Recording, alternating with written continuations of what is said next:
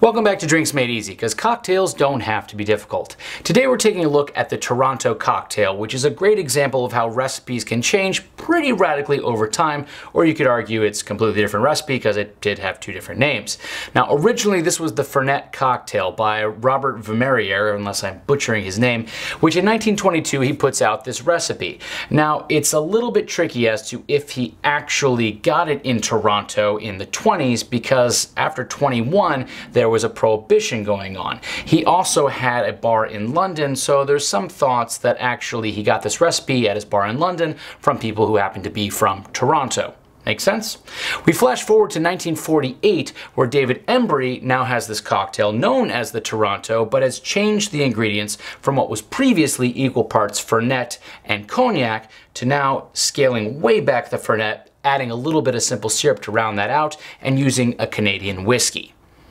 I know, a bit of a mouthful and a lot of history, but I guarantee it's a great cocktail. If you haven't already, go ahead and click on the subscribe button and the bell icon so you'll be notified every time we release a new video. And without any further ado, let's make a cocktail.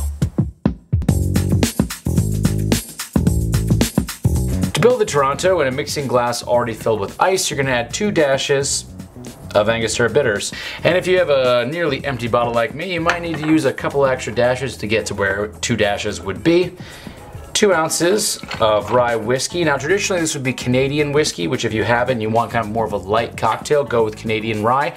Or you can always use uh, rye whiskey, which has become kind of more popular with this cocktail. Next we're gonna add a quarter of an ounce of Fernet and a quarter of an ounce of simple syrup. This is gonna help even out the uh, bitterness that you're gonna get from the Fernet Branca. Give it a stir. And like with any stirred cocktail, we're gonna wanna straw this to make sure that we have the proper dilution.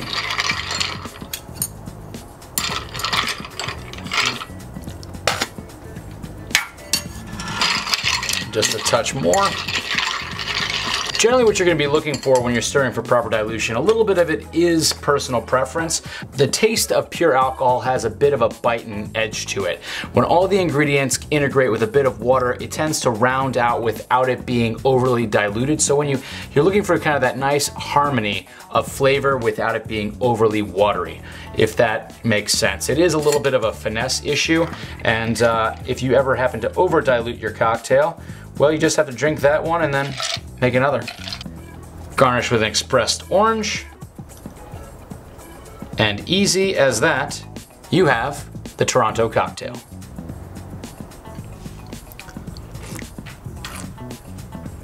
Mm.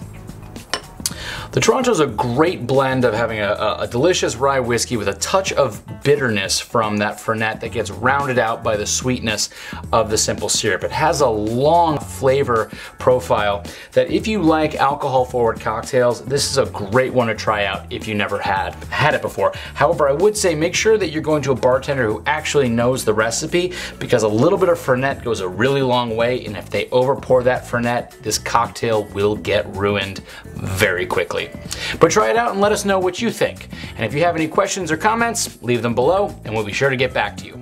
Cheers from Drinks Made Easy.